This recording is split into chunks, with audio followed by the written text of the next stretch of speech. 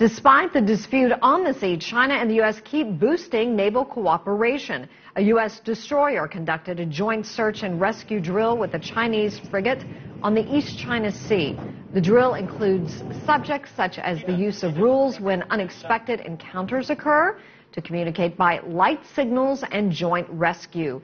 Before the exercise, the U.S. warship was in Shanghai for a five day visit.